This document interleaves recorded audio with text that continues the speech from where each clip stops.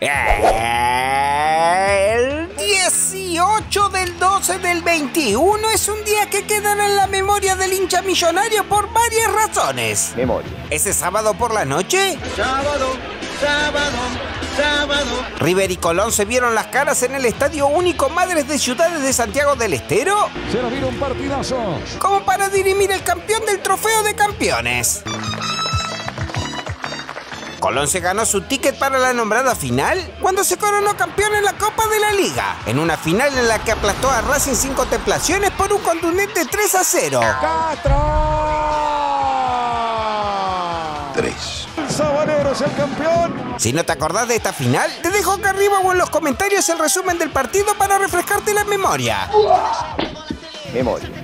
Por su parte, River accedió a esta final después de coronarse en la Liga Profesional de Fútbol en un partido donde aplastó a Racing sin contemplaciones por un contundente 4 a 0. Ramiro. River 4.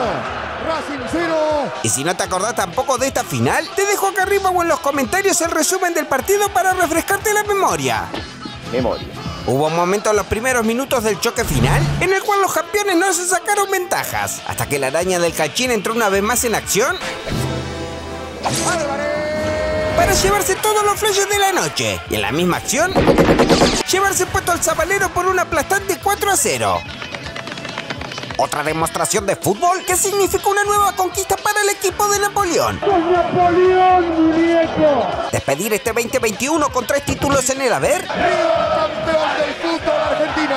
Y de esta manera convertirse en el equipo más ganador del año. Así que búscate el asiento más cómodo que tengas en tu casa y acomódate para disfrutar del resumen deportivo más que mavalero de toda la internet. Pero antes que nada, no te olvides de darle a la campanita y suscribirte para seguir viendo increíbles videos. Los dos mejores equipos de la temporada salieron al campo de batalla del Estadio Único Madre de Ciudades de Santiago del Estero y mientras Gallardo provocaba la sorpresa incluyendo a Paradela en el 11 titular, y hoy se juega por Paradela. el árbitro Lustó tocaba el pito para que se desaten las acciones del cotejo. El árbitro, señoras y señores. Y arranca la final. Con unos primeros minutos donde Colón y River no se pudieron sacar ventajas, Pues está todo bastante parejo. Julián Álvarez con una jugada pura intensidad ¡Álvarez! le advertía a Colón que iba a ser otra gran noche para la araña del calchín. I'm warning you. Llegaban los 41 minutos del primer tiempo cuando Simón arrancó a pura velocidad por derecha. Lanzó un centro pulsante al área sabalera. Para que Julián con un toquecito sutil de zurda deje a Burián sin respuestas. Y ponga a trabajar las gargantas de millones de hinchas millonarios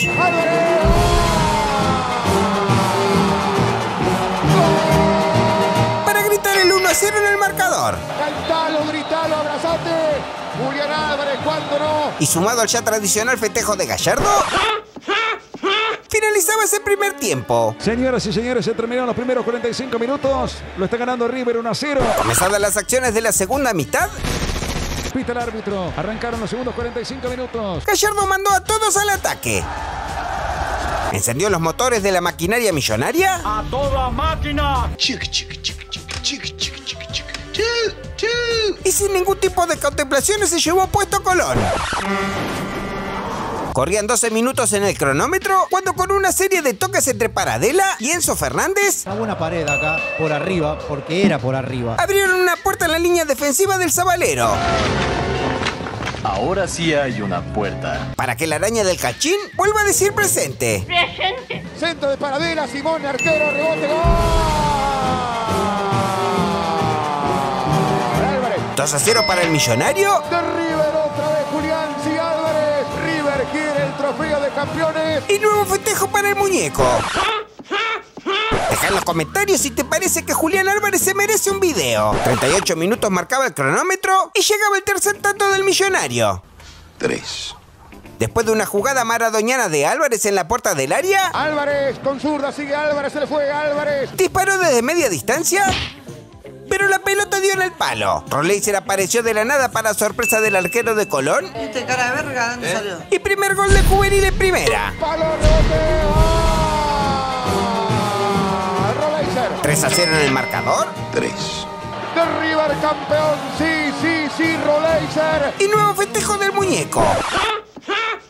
Pero eso no sería todo. ¡Aún hay más! Como para que la victoria sea aplastante. Llegando a los 45 minutos del segundo tiempo, apareció Carrascal para darle cierre al partido.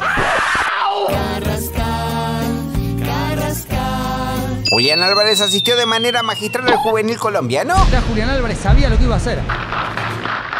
para que este meta el 4 a 0 en el marcador. Carrascal, Carrascal, Carrascal, Carrascal. ¡Oh! Y lleno de bronca se lo vaya a gritar a la tribuna de color. Me pateé un conde, me pegaron un botellazo en la cara. Bueno, cuando hice el gol ya me salió de bronca. Rafael Delgado se le fue con todo al humo y Lustó le sacó roja al zabalero. Get the fuck out! ¡Fuera! Y ahí la cosa se puso caliente. Calentura que duró nada porque ese partido también hubo un momento para la emoción, Se viene Leo Poncio. ya que marcó la despedida definitiva de Poncio de la actividad profesional. Entra Leonardo Poncio a disputar su último partido. Con 17 títulos en su haber, se retira siendo el jugador más ganador de la historia del millonario y superando nada menos que a la Bruna. Deja en los comentarios si te parece que Poncio se merece un video especial. Con el final del encuentro sentenciado por Lustó, Pita el árbitro final. River es el campeón del trofeo de campeones. el millonario se hizo de un nuevo título para sus vitrinas. Aquí está el campeón del trofeo de campeones en una jornada que jamás River olvidará porque no solo se queda con el trofeo de campeón, sino que también despide como tiene que despedir a Leo Poncio. Al levantar el trofeo de campeones, Gallardo igualó a Ángel Labruna como el más ganador en la historia del club, llegando a 22 títulos, 8 como jugador y 14 como entrenador, lo que se dice una máquina perfecta de ganar. En las clásicas entrevistas post partido, Gallardo mostró toda su satisfacción por otra demostración futbolística en la final. Es, es extraordinario ganar, pero más, más hermoso es ganar de la forma que ganamos. Deja en los comentarios si te parece que este fue un palito para los que ganan solo en los penales. Creo que es muy obvio que sí. Para hacer una buena contribución al sano debate, no te vayas del video sin dejar tu comentario. Y ya que estamos, dale un like. Compartilo y criticalo. Y después charlamos. Salí que te cago a trompazo. Habiendo dicho esto, solo me resta decir. Eso es, eso, es- eso es todo, amigos. Si te quedaste con ganas de ver más crónicas deportivas, te dejo un par de sugerencias. Siempre